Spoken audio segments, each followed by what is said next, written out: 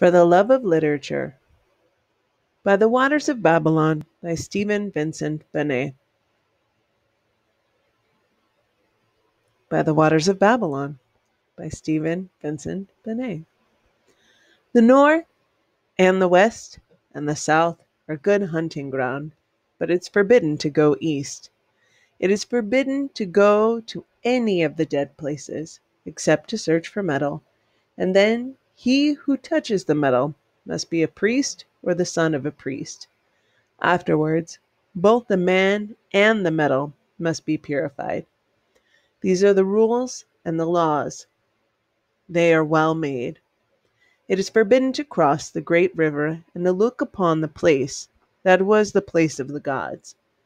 This is most strictly forbidden. We do not even say its name, though we know its name. It is there that spirits live and demons. It is there that there are the ashes of the great burning. These things are forbidden. They have been forbidden since the beginning of time. My father is a priest. I am the son of a priest. I have been in the dead places near us. With my father, at first, I was afraid. When my father went into the house to search for the metal, I stood by the door, and my heart felt small and weak. It was a dead man's house, a spirit house. It did not have the smell of man, though. There were old bones in a corner, but it is not fitting that a priest's son should show fear. I looked at the bones in the shadow and kept my voice still. Then my father came out with the metal. Good, strong piece. He looked at me with both eyes, but I had not run away. He gave me the metal to hold. I took it and did not die. So he knew that I was truly his son and would be a priest in my time. That was when I was very young. Nevertheless, my brothers would not have done it, though they are good hunters. After that, they gave me the good piece of meat and the warm corner of the fire. My father watched over me. He was glad that I should be a priest. But when I boasted or wept without reason, he punished me more strictly than my brothers. That was right. After a time, I myself was allowed to go into the dead houses and search for metal, so I learned the ways of those houses. And if I saw bones, I was no longer afraid. The bones are light and old. Sometimes they'll fall to dust if you touch them, but that is also a great sin. I was taught the chants and the spells. I was taught how to stop the running of blood from a wound and many secrets. A priest must know many secrets. That was what my father said. If the hunters think that we do all things by chants and spells, they may believe so. It does not hurt them. I was taught how to read in the old books and how to make the old writings. That was hard and it took a long time. My knowledge made me happy. It was like a fire in my heart. Most of all, I liked to hear of the old days and the stories of the gods. I asked myself many questions that I could not answer, but it was good to ask them. At night, I would lie awake and listen to the wind. It seemed to me that it was the voice of the gods as they flew through the air.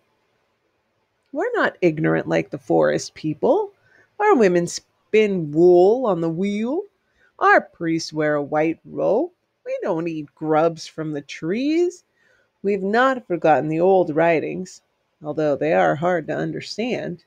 Nevertheless, my knowledge and my lack of knowledge burned in me. I wished to know more. When I was a man at last, I came to my father and said, It is time for me to go on my journey. Give me your leave. He looked at me for a long time, stroking his beard. And then he said at last, Yes, it is time. That night in the house of the priesthood, I asked for and received purification. My body hurt, but my spirit was a cool stone. It was my father himself who questioned me about my dreams. He bade me look into the smoke of the fire and see. I saw and was told what I saw. It was what I've always seen a river, and beyond it, great dead place, and in it gods walking. I've always thought about that. His eyes were stern when I told him he was no longer my father but a priest. And he said, This is a strong dream. It, it is mine, I said, while the smoke waved and my head felt light. They were singing the star song in the outer chamber, and it was like the buzzing of bees in my head. He asked me how the gods were dressed, and I told him how they were dressed. We know how they were dressed from the book. But I saw them as if they were before me. When I had finished, he threw the sticks three times and studied them as they fell.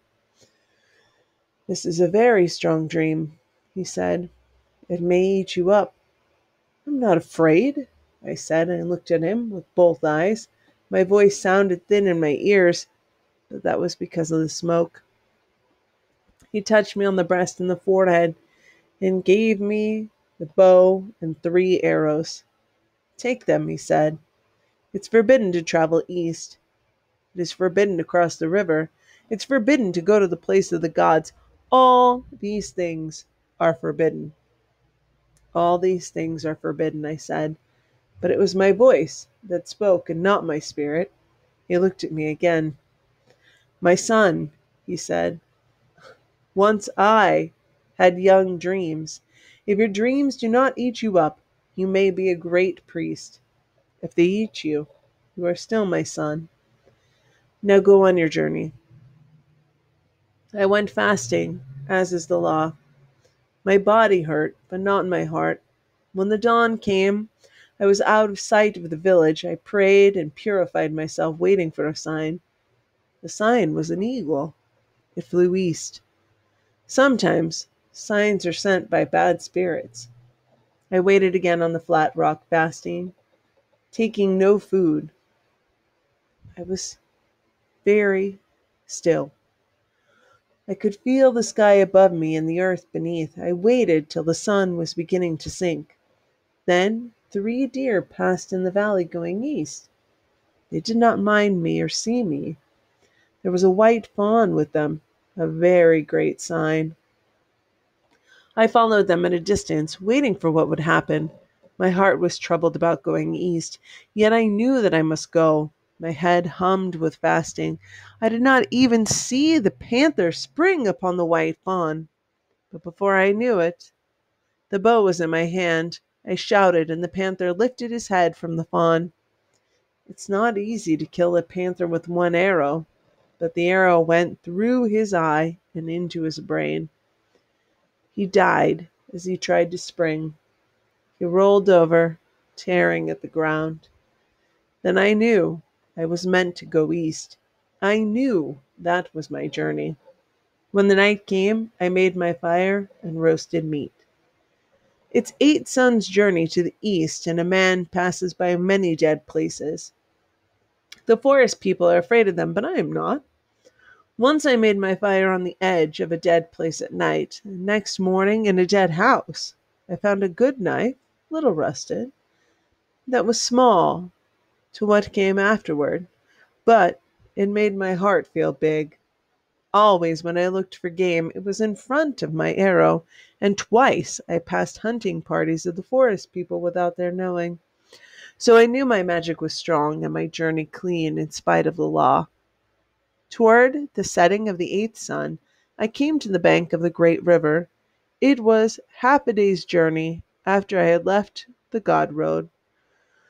We don't use the God roads now, for they're all falling apart into great blocks of stone, and the forest is safer going. A long way off I had seen the water through the trees, but the trees were thick. At last I came out upon an open place at the top of the cliff. There was the great river below, like a giant in the sun. It is very long very wide. It could eat all the streams we know and still be thirsty.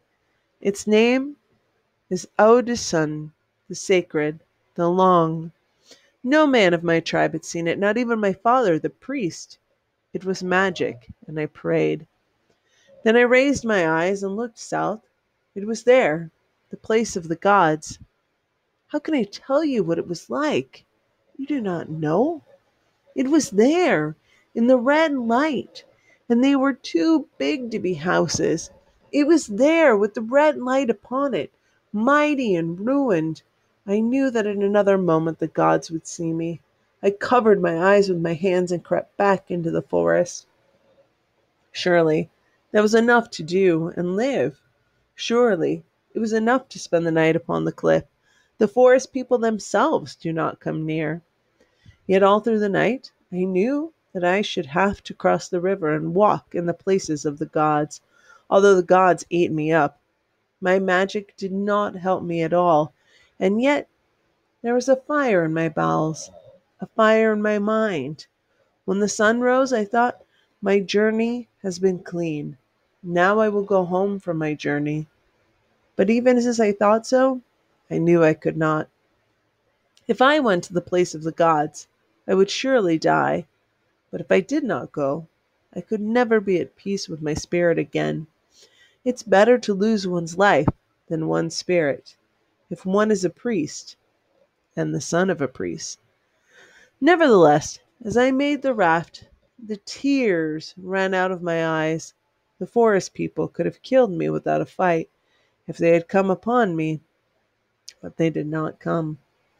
When the raft was made, I said the sayings for the dead and painted myself for death. My heart was cold as a frog and my knees like water, but the burning in my mind would not let me have peace. As I pushed the raft from the shore, I began my death song. I had the right. It was a fine song. I am John, son of John, I sang. My people are the hill people, they are the men. I go into the dead places, but I am not slain. I take the metal from the dead places, but I am not blasted. I travel upon the god roads and am not afraid. Eeah! I have killed the panther, I have killed the fawn. Eeah! I have come to the great river. No man has come there before. It is forbidden to go east, but I have gone. Forbidden to go down the great river, but I am there. Open your hearts, you spirits, and hear my song. Now I go to the place of the gods, I shall not return. My body is painted for death, and my limbs are weak, but my heart is big as I go to the place of the gods. All the same, when I came to the place of the gods, I was afraid. Afraid. The current of the great river is very strong. It gripped my raft with its hands. That was magic, for the river itself is wide and calm. I could feel evil spirits about me. I was swept down the stream. Never have I been so much alone. I tried to think of my knowledge, but it was a squirrel's heap of winter nuts. There was no strength in my knowledge any more, and I felt small and naked as a new hatched bird, alone upon the great river, the servant of the gods.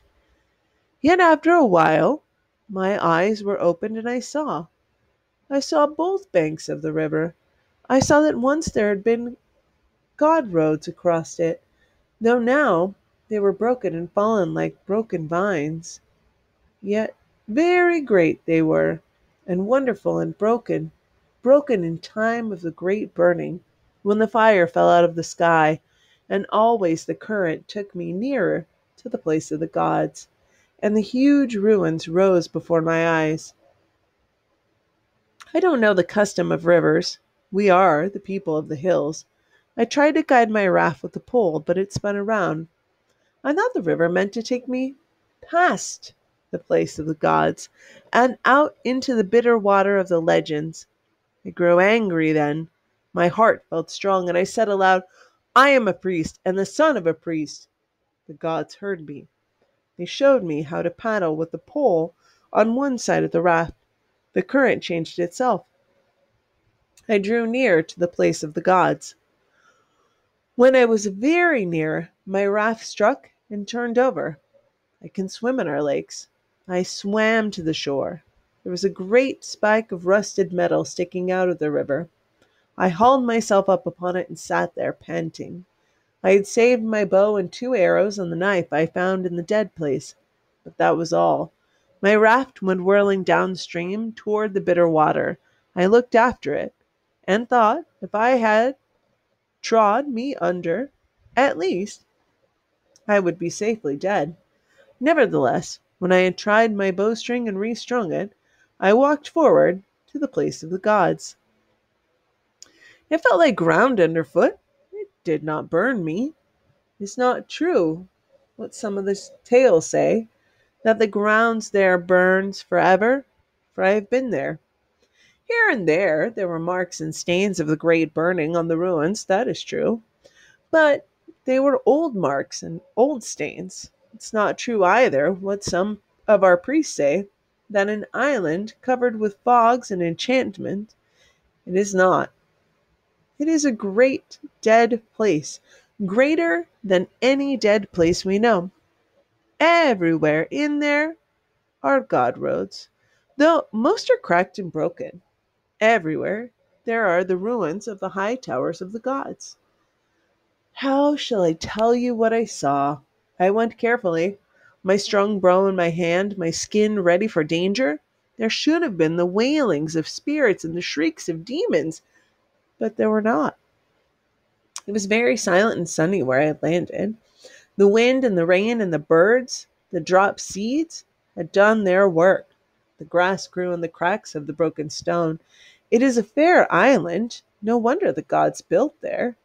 If I had come there, a god, I also would have built. How shall I tell you what I saw? The towers are not all broken.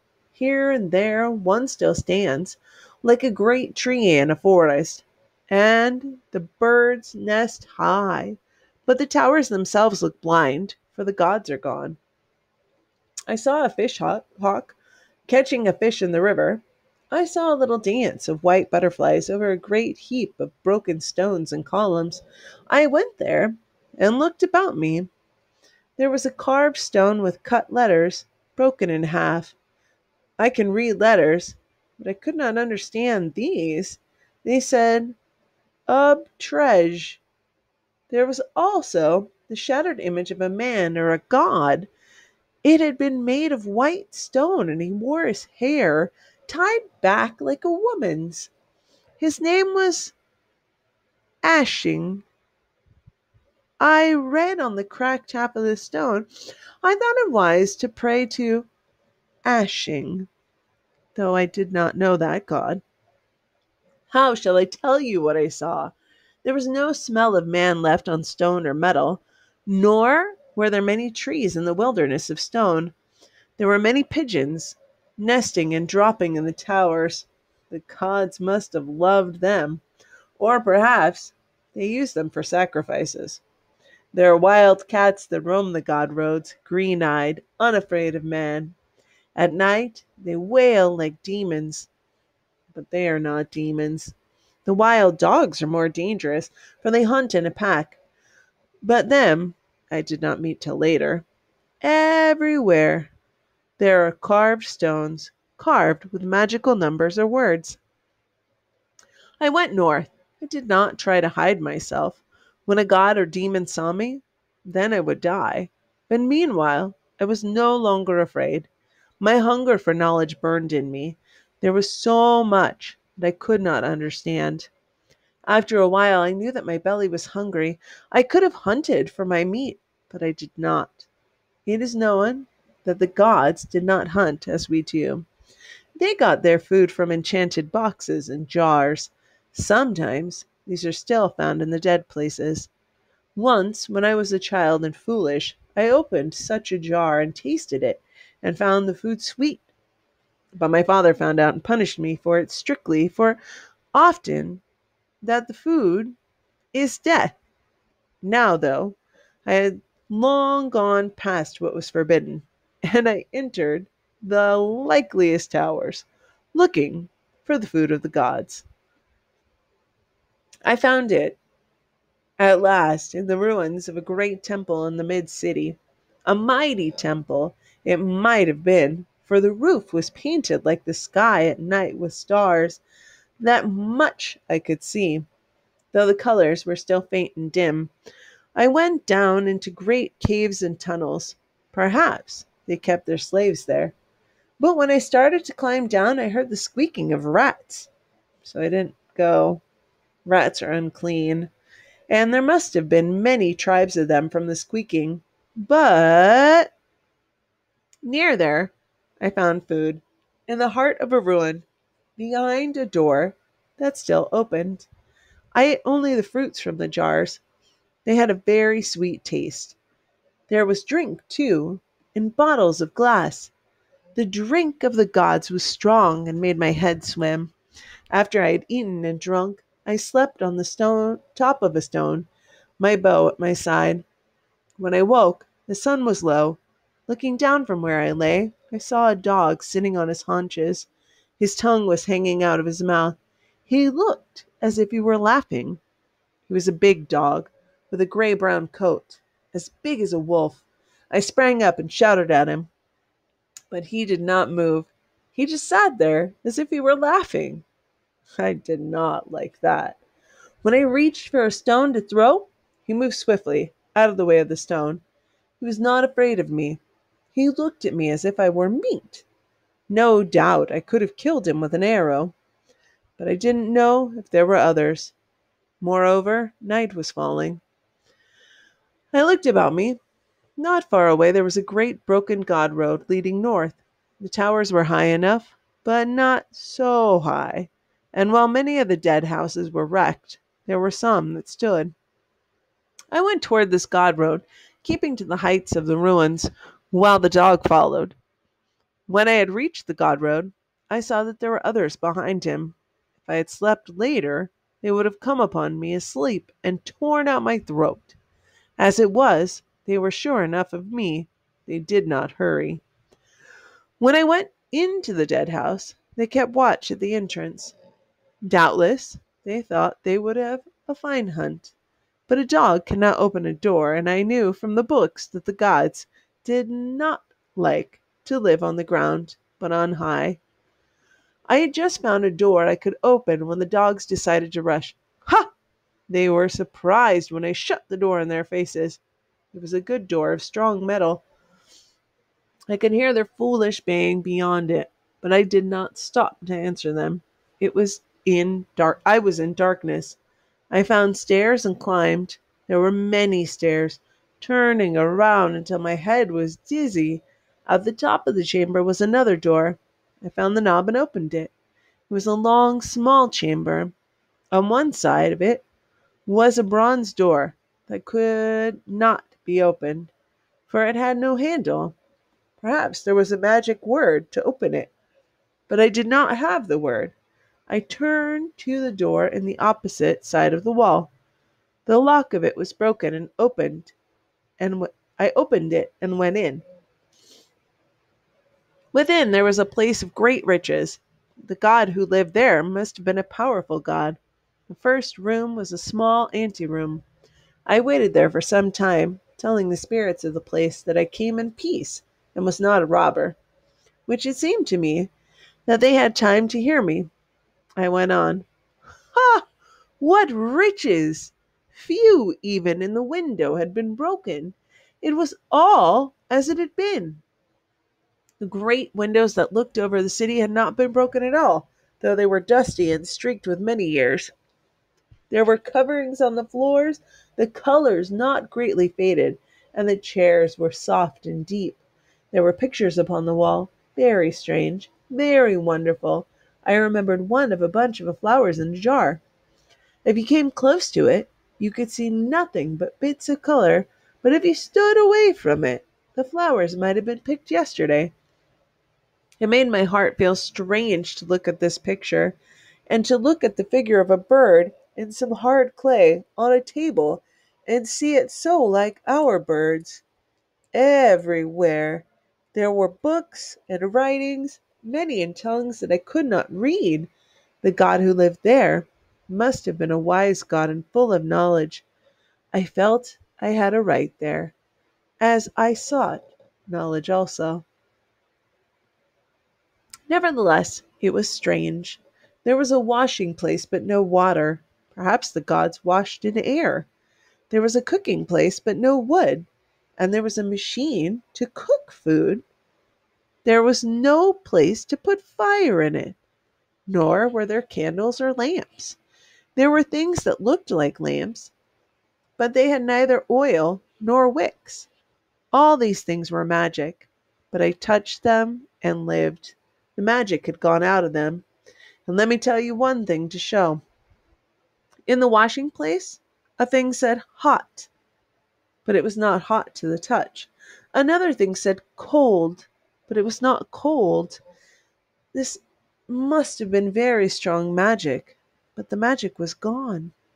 I don't understand. They had ways. I wish I knew. It was close and dry and dusty in the house of the gods. I've said the magic was gone, but that's not true. It had gone from the magic things, but it has never gone from the place. I felt the spirits about me weighing upon me. Nor had I ever slept in the dead place before, and yet tonight I must sleep there. When I thought about it, my tongue felt dry in my throat, in spite of my wish for knowledge. Almost I would have gone down again and faced the dogs, but I did not. I had not gone through all the rooms when the darkness fell. When it fell, I went back to the big room, looking over the city, and made fire. There was a place to make fire, and a box with wood in it, though I don't think they cooked there. I wrapped myself in a floor covering and slept in front of the fire. I was very tired. Now I tell what is very strong magic. I woke in the midst of the night. When I woke, the fire had gone out, and I was cold. It seemed to me that all around me were whisperings and voices. I closed my eyes to shut them out. Some will say that I slept again, but I don't think that I slept. I could feel the spirits drawing my spirit out of my body as a fish is drawn on the line. What should I lie about it? Why should I lie about it? I am a priest, and the son of a priest. If there are spirits, as they say, in the small dead places near us, what spirits must there not be in that great place of the gods? And why would they not wish to speak after such long years? I know that I felt myself drawn as a fish on a line. I had stepped out of my body I could see my body asleep in front of the cold fire, but it was not I. I was drawn to look out upon the city of the gods. It should have been dark, for it was night, but it was not dark. Everywhere there were lights, lines of lights, circles and blurs of lights. Ten thousand torches would have been the same.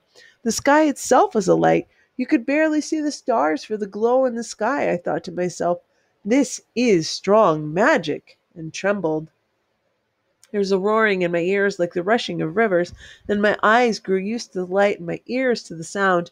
I knew that I was seeing the city as it had been when the gods were alive. That was slight indeed. That was a sight indeed. Yes, that was a sight. I could not have seen it in the body. My body would have died. Everywhere went the gods, on foot and on chariots. There were gods beyond number and counting, and their chariots blocked the streets. They had turned night to day for their pleasure. They did not sleep with the sun. The noise of their comings and goings was the noise of many waters. It was magic what they could do. It was magic what they did. I looked out another window. The great vines of the bridge were mended, and the god roads went east and west. Restless, restless were the gods, and always in motion. They burrowed tunnels under rivers. They flew in the air with unbelievable tools. They did giant works. No part of earth was safe from them. For if they wished a thing, they summoned it from the other side of the world. And always, as they labored and rested, as they feasted and made love, there was a drum in their ears, the pulse of the giant city, beating and beating like a man's heart. Were they happy? What is happiness to the gods? They were great, they were mighty, they were wonderful and terrible. As I looked upon them and their magic, I felt like a child, but a little more, it seemed to me. And they would pull down the moon from the sky. I saw them with a wisdom beyond wisdom and knowledge beyond knowledge, and yet not all they did was well done. Even I could see that, and yet their wisdom could not but grow until all was peace. Then I saw their fate come upon them, and that was terrible past speech. It came upon them as they walked the streets of their city. I have been in fights with the forest people. I have seen men die, but it was not like that. When gods war with gods, they use weapons we do not know. It was a fire falling out of the sky and a mist that poisoned. It was the time of the great burning and the destruction. They ran about like ants in the streets of their city. Poor gods, poor gods. When the towers began to fall, a few escaped. Yes, a few. The legends tell it. But even after the city had become a dead place for many years, the poison was still in the ground. I saw it happen. I saw the last of them die. It was darkness over the broken city, and I wept. All this time I saw, I saw it as I, I have told it, though not in the body. When I woke in the morning, I was hungry, but I did not think first of my hunger, for my heart was perplexed and confused. I knew the reason for the dead places, but I did not see why it had happened. It seemed to me it should not have happened. With all the magic they had, I went through the house looking for an answer. There was so much in the house I could not understand, and yet I am a priest and the son of a priest. It was like being on one side of the great river at night with no light to show the way. Then I saw the dead god. He was sitting in his chair by the window in the room I had not entered before, and for the first moment I thought that he was alive. Then I saw the skin on the back of his hand. It was like dry leather. The room was shut, hot and dry. No doubt that he had kept that had kept him as he was. At first I was afraid to approach him. Then fear left me. He was sitting, looking out over the city. He dressed in the clothes of the gods. His age was neither young nor old. I could tell not his age. But there was wisdom in his face and great sadness. You could see that he would not run away. He sat at his window, watched his city, watching his city die. Then he himself had died. But it is better to lose one's life than one's spirit. And you could see from his face, from the face, that his spirit had not been lost. I knew that. If I touched him, he would fall to dust. And yet, there was something unconquered in the face. That is all of my story. For then I knew he was a man. I knew then that they have all been men, neither gods nor demons. It is a great knowledge, hard to tell and to believe. They were men. They went a dark road, but they were men. I had no fear after that. I had no fear going home, though twice I fought off the dogs, and once I was hunted for two days by the forest people.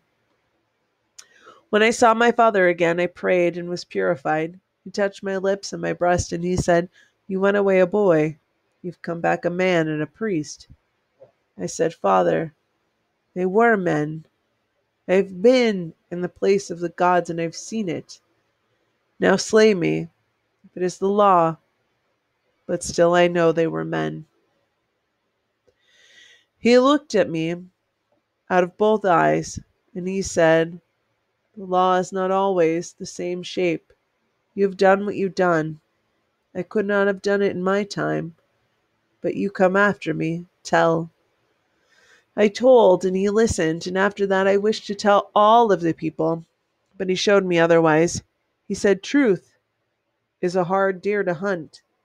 If you eat too much truth at once, you may die of the truth. It was not idly that our fathers forbade the dead places. He was right. It is better the truth should come little by little. I have learned that, being a priest. Perhaps in the old days they ate knowledge too fast. Nevertheless, we made a beginning. It is not for the metal alone we go to the dead places now. There are books and the writings. They are hard to learn, and the magic tools are broken, but we can look at them and wonder. At least, we make a beginning. And when I am chief priest, we shall go beyond the great river. We shall go to the place of the gods, the place New York. Not one man, but a company. We shall look at the images of the gods and find the god Ashing and the others, the gods Lincoln and Biltmore and Moses. But they were men who built the city, not gods or demons. They were men. I remember the dead man's face. They were men who were here before us. We must build again.